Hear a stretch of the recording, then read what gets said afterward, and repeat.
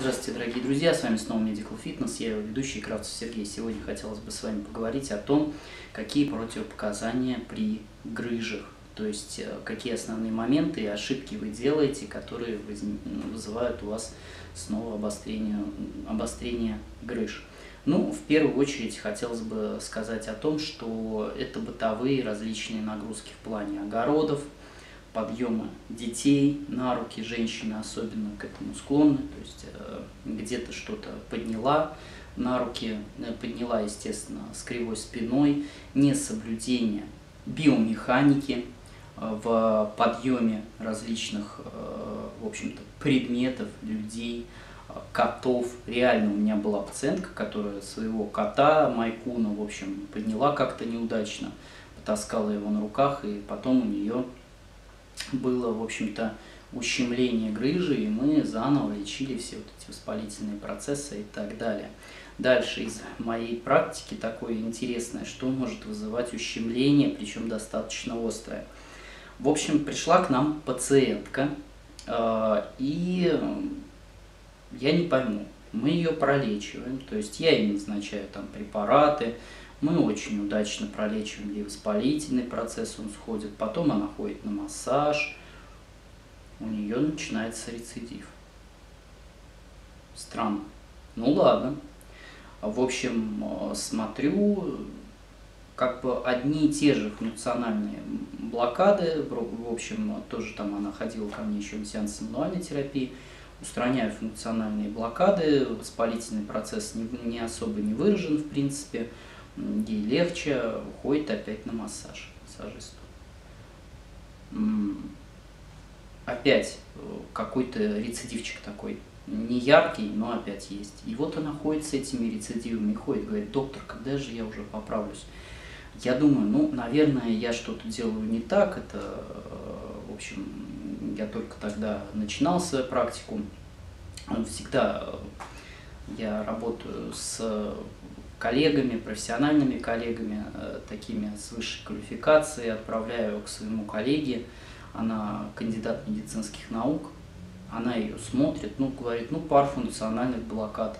Э, в общем, ничего мы не находим, мы не можем найти причину, что вызывает у нее постоянные эти рецидивы.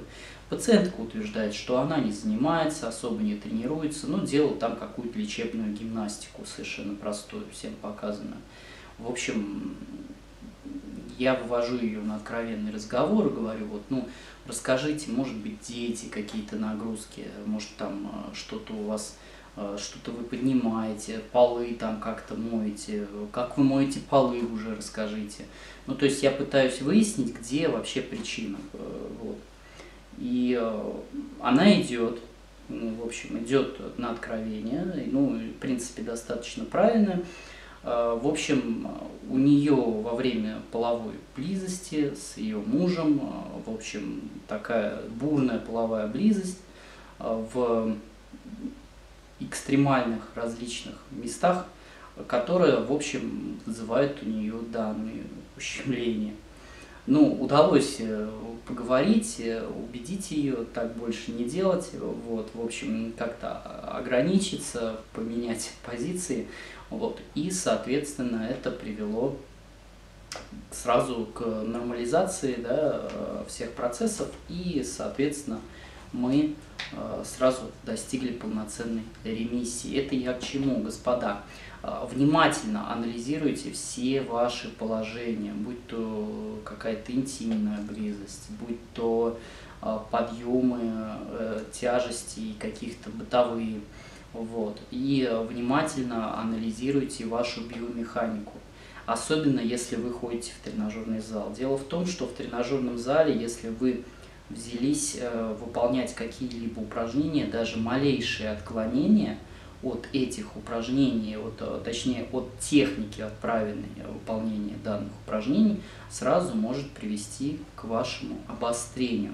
И еще такой момент. Я очень часто встречаю, что тренера в спортивных залах, не имея медицинской квалификации, используют приемы мануальной терапии. То есть они э, берут своих клиентов, начинают их щелкать, хрустеть, там просто э, ротации делать. То есть у человека грыжа повздошного отдела, тренер его кладет, там, делает там, ротацию.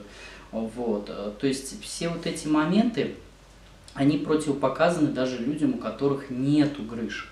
А если, в общем-то, есть грыжа, тем более, ни в коем случае, если человек не имеет э, медицинского образования и не знает э, показаны, соответственно, когда показаны, не показаны, какие приемы мануальной терапии, это уже годами учатся, понимаете? То есть такого делать ни в коем случае нельзя.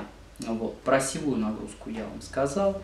Целом вот э, такой небольшой спектр основных противопоказаний при грыжах. Э, я надеюсь, что вам было достаточно интересно. С вами был Medical Fitness, Кравцев Сергей. Пожалуйста, подпишитесь на канал, задавайте ваши вопросы в комментариях. Я думаю, что от этого мои выпуски станут более интересными. Я буду знать, что вас беспокоит, что больше интересует. Может быть, даже разберу какой-то конкретный случай, если он будет достаточно интересным.